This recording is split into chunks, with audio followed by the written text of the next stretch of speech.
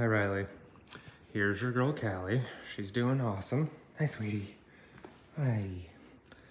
Um, right now, we're working on the place command, and I recommend you get a dog bed. It doesn't have to be one of these raised ones like this, but I do like them. They're pretty cheap on Chewy. Um, they're a lot easier to teach place on as well. Place is, good job, sweetie.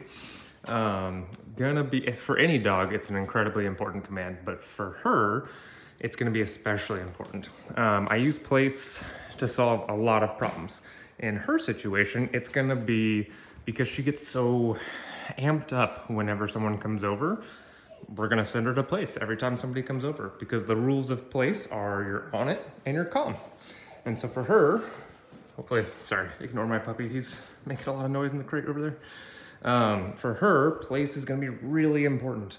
I use place for lots of other situations as well. You know, if I have a dog that jumps on people, I send them to place. If I have a dog that's uh, bugging me while I'm trying to cook dinner, I send them to place. If I, anytime I want the dog to be out and be part of the family and not have to get put away, oh, hi sweetheart, um, then I send them to place. Huh. So let's work on this. I'll show you how we do this here. I'll grab her leash. Where's that at? Oh, nice. Oh. Okay, good. Good girl. Come here. Come on. Are you thirsty?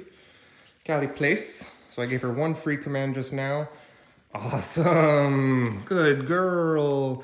And so what I mean by one free command is I didn't use the leash. I didn't use the e-collar.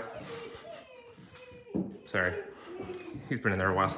He um, I didn't use the leash. I didn't use the e-collar. I just gave her the command, a little bit of body language to help. Um, now, if she gets off, because the rules of place are you stay on there until I get you off, I'm to use black S here, and I'll show this to you when I when I bring her home. Her working level is eight. That's out of 100. That's super, super low. You wouldn't even feel it on your hand. Um, if she does get off, I'm gonna hold it down and help her back on. And actually, this is a huge improvement. We've done place once before, and she did not let me get this far away. So this is a big old improvement here. Oh. She's doing awesome. Um, she's a good dog.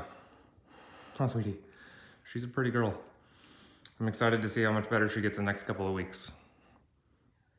Say bye-bye.